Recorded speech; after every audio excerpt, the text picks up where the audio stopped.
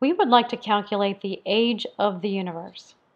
We're given the Hubble's constant of positive 68 kilometers per second per megaparsec. From this, we want to find the age of the universe. We're given a conversion of 1 megaparsec is equal to 3.086 times 10 to the 19th kilometers. So let's solve for the age of the universe. The age of the universe is 1 divided by Hubble's constant. So let's go ahead and substitute in. So we've got 1 in the numerator, and we need to put uh, Hubble's constant in the denominator, which is 68 kilometers per second. So I'm going to put a kilometer on the denominator side, a second on the numerator side, because that's kilometers per second, per megaparsec.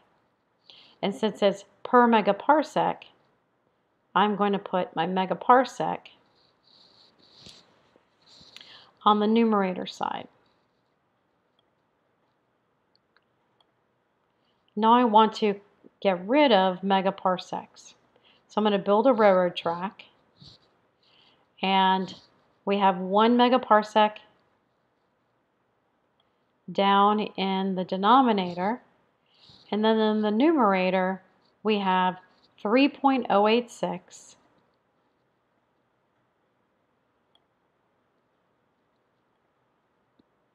times 10 to the 19th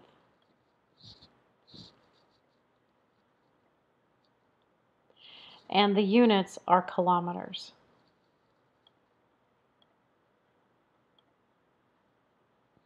So let's get rid of like units. We got megaparsecs on the top, megaparsecs on the bottom, kilometers on the top, kilometers on the bottom. So the only units we have left are going to be seconds. So we'll put our seconds units there. So now we have 3.086 times 10 to the 19th divided by 68.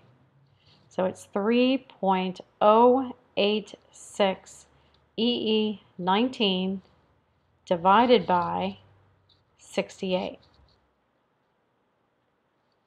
And we have a value of 4.538. We can round the 8 up to a 4. 4.54 times 10 to the 17th. So we have 4.54 times 10 to the 17th seconds. Well, we don't want seconds. We want in terms of billions of years. So we need to convert out of seconds into units that we want. So we have 60 seconds in one minute. We've got 60 minutes in one hour.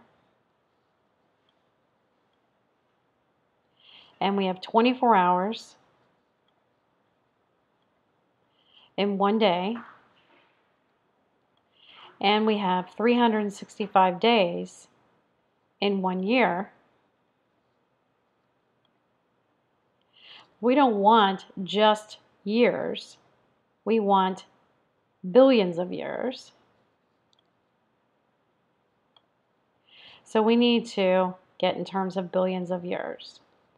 So one, we have 1 billion years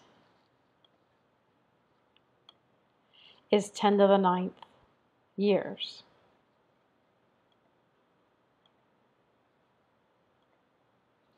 So let's get rid of like units.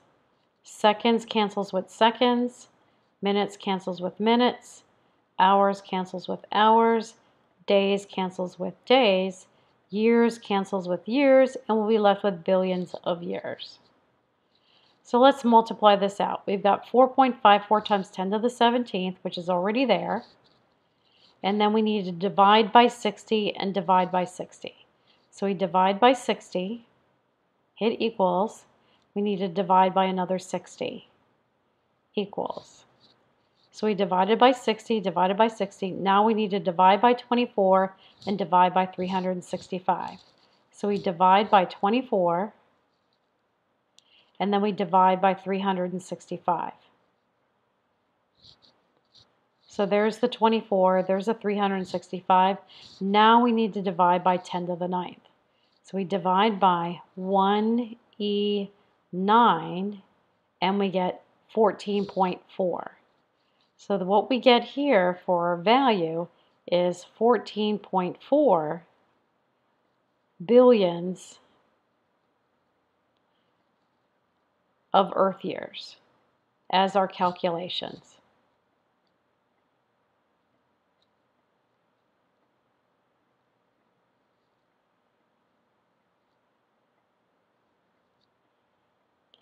And that is how we would calculate the age of the universe given this particular Hubble constant.